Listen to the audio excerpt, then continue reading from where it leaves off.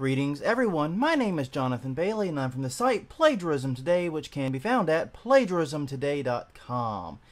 And I really thought we were done with this one. Um, you know, yesterday I wrote an 1800 word article and spent an eight minute and spun an eight minute video about the whole oatmeal slash funny junk controversy that's been going on, and I really thought that was going to be it. I thought I was going to say my piece, and when it was all said and done, it would well be all said and done. I didn't think there was going to be uh, much else to add to it. I, the, the, realistically, I didn't think anything else was going to come of this. I figured it was just going to be a story. They were going to do the little fundraiser. Everything was going to be ha- good, and it was just going to kind of die into obscurity, kind of like it did the first time ten months ago. I was kind of looking for a pattern. Um, this wasn't the pattern. Uh, long story short, what happened here is to recap the entire situation really fast. Uh, Matt Inman runs a or creates a web comic called The Oatmeal, which is pretty popular. Um, and Funny Junk is a content aggregator site where users post funny images they find on the web. Those images almost always are created by other people and they're rehosted on Funny Junk. Um, and many of those images happened to be oatmeal comics. Some had the attribution cut off, some had other problems with it. Big, huge ordeal. And what basically happened was 10 months ago, Inman said some mean things about Funny Junk in his comic. Funny Junk fired back in a less than elegant way, and as a result, um, the uh, situation blew up, but it really didn't go anywhere or do anything, largely because Inman kind of decided this whole thing wasn't really worth his time and just dropped it.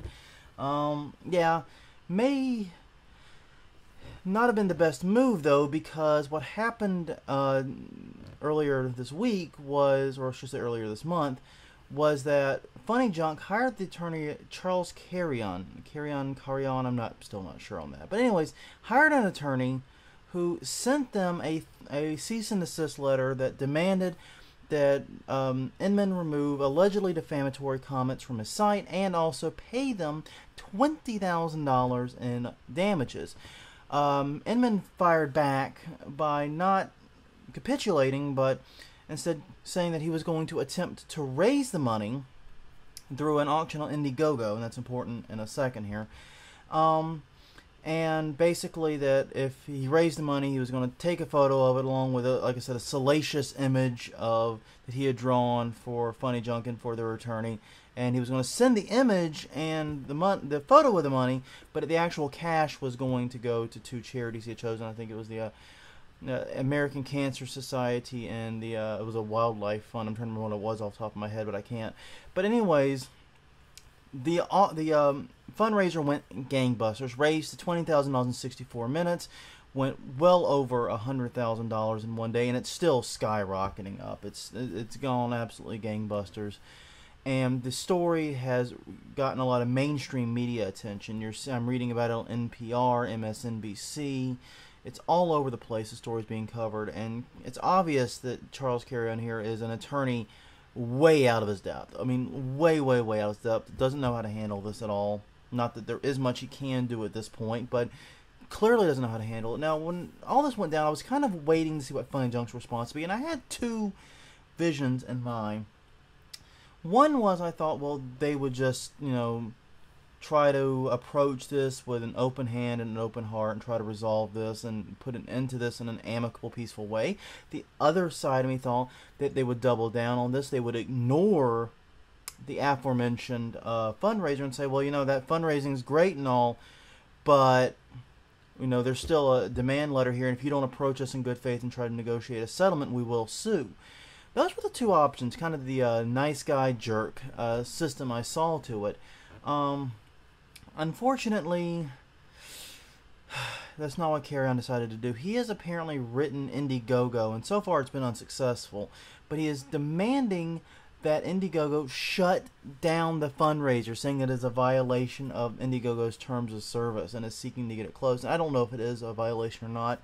Didn't read Indiegogo's terms of service for this video, but even if it is, I think um, obviously any violation would probably be a technicality at this point. point and the real reason he wants it shut down has absolutely nothing to do um, with it being a violation of the TOS. It has everything to do with it's an embarrassment to him and to his client. You know, my problem is this: whenever um, lawyers do dumb things, I tend to give them the benefit of the doubt, and the reason is this: attorneys have a responsibility to represent the interests of their clients. That's their job. They are paid and hired to represent the interests of their clients. And so long as the interest of their client isn't illegal or highly immoral or would get them in trouble with the bar, they pretty much have to go along with it. Um, even if they maybe don't agree with it politically, philosophically, or whatever. And that's what happens a lot of times. You see attorneys who go along with things they disagree with personally, and this is how attorneys also get on opposite sides of the same issue, uh, seemingly arguing completely counter points over the course of their career. Um, I try to give the benefit of the doubt, but now there's no benefit. Carreon is a moron. He's stupid. He has just done something absolutely daft, and I hope he doesn't succeed for his sake. Because if he does succeed and get his Indiegogo um, fundraiser shut down, the hell he will bring down upon himself will be incredible. What is taking place now, the emails he's gotten, the the the, the jokes made about him, you know, everything that's been said so far will pale in comparison to what happens if that auction is shut down. It will pale in comparison. What I would do if I were Carreon in this situation, I would donate to it and make a public display of donating to it, saying I believe in these causes as well and then you have to decide and talk with your client about this one if you're going to continue fighting this case or drop it. That's something you've got to work on with your client. And say, you know, you've got to remove yourself from this equation as an attorney. You're just here to represent your client, and now the focal point is on him, and he doesn't know how to deal with that. And it's it's really frustrating because he touts being this big internet attorney, and yet he's obviously clearly unfamiliar with the Streisand effect.